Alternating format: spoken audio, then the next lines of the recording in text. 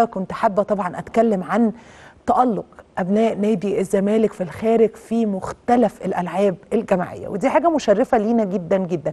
وعلى فكرة لو أنا النهاردة هتكلم عن اللعيبة المحترفة في الخارج اللي هم أبناء نادي الزمالك ده إحنا محتاجين حلقات وحلقات كمان علشان نتكلم نتكلم عن الكوادر الإدارية اللي بتمثلنا والتدريبية كمان ككوادر إدارية وتدريبية اللي بيمثلونا في الدول العربية والإفريقية سواء في الأندية أو في الاتحادات. دول عايزين حلقات وحلقات. لكن أنا النهاردة هتكلم عن محترفينا في الخارج سواء في اليد أو السلة أو الطايرة.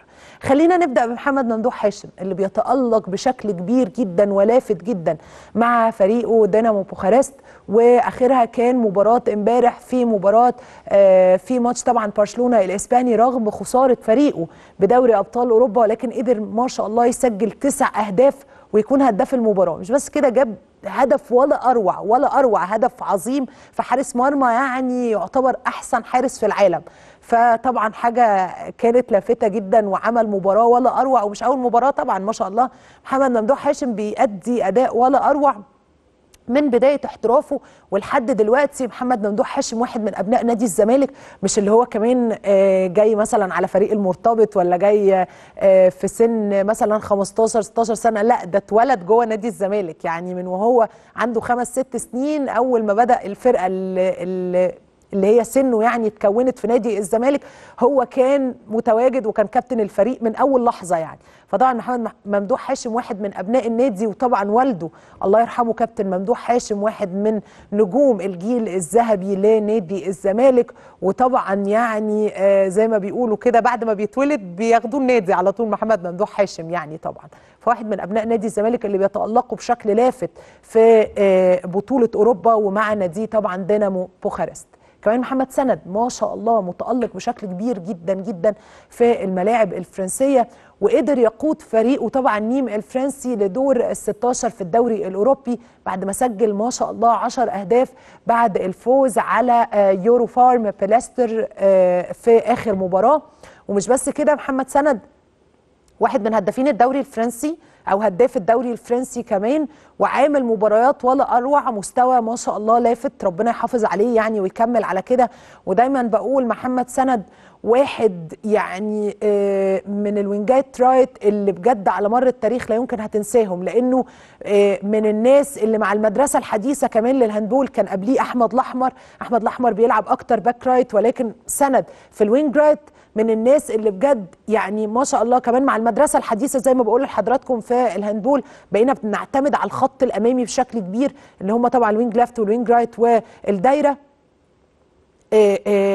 ما شاء الله ما فيش مباراة غير لما بيبقى خارج جايب آه 8 9 10 أهداف سواء مع المنتخب أو النادي. فمحمد سند واحد من الوينجات رايت اللي زي ما بيقول الكتاب يعني. كمان محمد علي حارس مرمى فريق يد الزمالك السابق والمحترف في نادي أنجاي الفرنسي أو أنجاي الفرنسي بيقدم مستوى رائع مستوى محترم جدا ولافت بشكل كبير جدا. بنتمنى له طبعا كل التوفيق. والموسم اللي جاي يكون في الدوري الممتاز ويعمل أداء ولا أروع لأن محمد علي من حراس المرمى. طبعا هو واحد من أبناء نادي الزمالك وزي ما قلت زي ما كنت بتكلم على محمد ممدوح هاشم مواليد 88 فريق 88 هو كان كابتن الفرقة من أول ما الفريق اتكون. كمان محمد علي نفس القصة. من أول ما تكون فريق 92 داخل نادي الزمالك يعني من وهم عندهم خمس ست سنين وهو داخل نادي الزمالك ومن أبناء نادي الزمالك اللي طبعا يعني عارفين يعني إيه قيمه تيشيرت الزمالك متربيين على المكسب على الانتصارات على الفوز متربي على فكرة اللعب على بطولة اللعب تحت ضغط لأنه بيلعب في نادي جماهيري. فمحمد علي طبعا واحد من أبناء نادي الزمالك بنتمنى له كل التوفيق في مسيرته الاحترافية. تعال نروح بقى للفولي رضا هيكل. نجم الزمالك السابق طبعا للكرة الطايرة ونجم نادي ساسكا صوفيا البلغاري الحالي طبعا واللي تألق بشكل كبير جدا في دوري السوبر البلغاري وحصل على أفضل مسجل نقاط وأفضل إرسال. عامل مباريات ولا أروع متألق بشكل كبير جدا جدا ما شاء الله. وطول الوقت اللي متابع رضا على ال social media هو كمان متعايش مع الحياة هناك بيحاول إن هو آه، يتأقلم بشكل كبير مع الغربة ويتأقلم بشكل كبير. طبعا ال- الجو هناك برد طول الوقت فيه تلج. إحنا بنشوف طبعا ال story بتاعت رضا هيكل ال- الظروف ال- المناخية هناك صعبة جدا جدا ولكن رضا بيحاول يتأقلم على فكرة الاحتراف والغربة. لأنه يا جماعة مش أي حد يقدر يتأقلم مع الاحتراف والغربة ممكن تبقى موهبة عظيمة جدا جدا لكن يروح ما يقدرش يتأقلم على الغربة. ولكن دي مش أول مرة الرضا رضا احترف احترف قبل كده ففاهم يعني إيه الاحتراف وفاهم يعني إيه التأقلم مع فكرة الغربة وإن أنا لازم أثبت نفسي وإن أنا لازم أكمل مسيرتي الاحترافية لأن ده تاريخ أنا بسطره في السي في بتاعي. طيب تعالى نروح لكرة السلة. تألق مهاب ياسر اللافت يعني اللي إحنا بنفتقده بنفتقده طبعا بشدة إن هو يكون متواجد مع فريقنا. ولكن وكان عامل موسم استثنائي ولا أروع. وطول الوقت أنا لما بتكلم عن مهاب ياسر بقول إنه أنا اتفاجئت لما جيت استضافته وعرفت سنه. بعد كده أنا بشوف إن هو ما شاء الله ليدر جوه الملعب. عنده شخصية شخصية آه، شخصية نجم شخصية قائد جوه الملعب. يعني ما شاء الله مهاب مثلا لو بتتكلم إنه 20 21 سنة تقريبا يا شباب آه، آه، يعني ما شاء الله ده لما يبقى عنده 26 27 سنة هيبقى شوية زي أنس أسامة وزي عمر هشام وزي كيجو طبعا زي الناس دي. أنت بتحس إن هو شخصية ليدر جوه الملعب. فطبعا مهاب ياسر واحد من الناس اللي كان مستواه لافت بشكل كبير جدا. ما حسيتش إنه متصعد للفريق الأول لما كان معاهم الموسم اللي فات وقدر ياخد مع الفريق دوري السوبر والبطولة الإفريقية تحت رعاية ال NBA لأول مرة. فمهاب ياسر لاعب موهبة ليه شخصية جوه الملعب ليه تقله تقله بلغة الرياضة كده انت بتحس انه لاعب تقيل جوه الملعب ما شاء الله عليه. يعني لما مثلا آه، حتى لما جه واستضافته هنا سألته في الموضوع ده الثلاثيات إحرازه للثلاثيات. الثلاثيات دي عايزة تدريب عظيم جدا.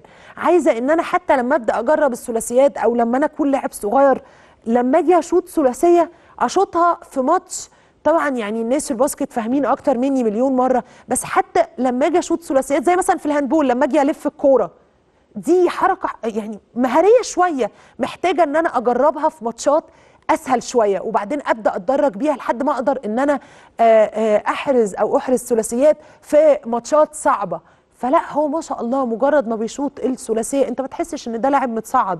ربنا يحميه عنده شخصية وعنده ثبات وبيقف يشوط الثلاثية ومش اللي هو إيه يلا أنا هشوط ثلاثية وأجرب لا يعني هو بيعملش كده. عندنا كمان ما شاء الله في الموضوع ده متألق جدا أحمد ياسر عبد الوهاب. الناس دي ما بتشوفش ثلاثية كده يعني اللي هو أنا يلا نجرب بقى وإحنا وبختنا. لا دي محتاجة تدريب كتير جدا محتاجة تركيز محتاجة إن أنا آخد مساحتي وأنا واقف بستغل ثغرة دفاعية معينة يعني. فطبعا مهاب ياسر ما شاء الله عليه ربنا يحميه. في آخر مباراة أحرز خمس نقاط عمل تسعة rebound اتنين assist واحد steal مع آه، آه، جامعته طبعا في دوري الجامعات الأمريكي. عامل مستوى ولا أروع ولا أروع يعني. حاجة محترمة جدا جدا تخليك أو حاجة تدعو للفخر إن أبناء نادي الزمالك في الاحتراف عاملين حاجة محترمة جدا. وده لو يقول يقول لك إيه؟ إن أبناء نادي الزمالك متأسسين صح متأسسين في من وهم صغيرين في الناشئين بشكل احترافي بشكل صح بيلعبوا في نادي جماهيري اسمه نادي الزمالك وهو يعني من أعظم اتنين أندية في مصر يعني وفي أفريقيا وفي الوطن العربي. فبالتالي عندهم يعني إيه أنا بلعب على المكسب. يعني إيه ضغط الفوز؟ يعني إيه ضغط المباريات؟ يعني إيه ضغط آه، آه، اللعب على بطولة؟ اللعب تحت ضغط. عندهم حب المكسب والانتصار. هدفهم دايما إن هم رقم واحد. أنا مش داخل أمثل آه، تمثيل مشرف ولا داخل ألعب على المركز الثاني ولا داخل اللي هو آه، يلا إحنا ونصيبنا. لا إحنا نادي الزمالك. إحنا نادي الزمالك. مهما يحصل كبوات مهما يحصل آه، إخفاقات مهما- مهما تحصل هزايم ولكن نادي الزمالك هيفضل نادي الزمالك على مر التاريخ كان عظيم كبير جدا جدا جدا بالتأكيد. وطول الوقت ولاده لازم يبقوا فاهمين كويس قوي إن إحنا بنلعب على المكسب بنلعب على الفوز بنلعب على بطولة. ولا عمرنا بتوع تمثيل مشرف ولا بنلعب على مركز تاني ولا الكلام ده خالص.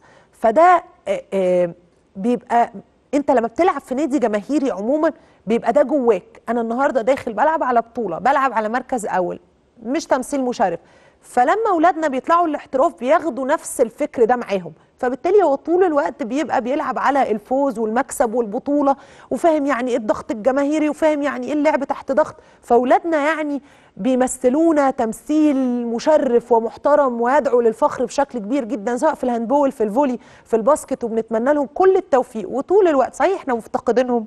جوه نادي الزمالك ولكن بنتمنى لهم كل التوفيق وطول الوقت بندعمهم علشان يفضلوا في مكان عالي جدا وفي صورة محترمة ومشرفة وهم اوريدي بيعملوا ده. بنتمنى لهم كل التوفيق وليهم منا كل الدعم والتقدير بإذن الله.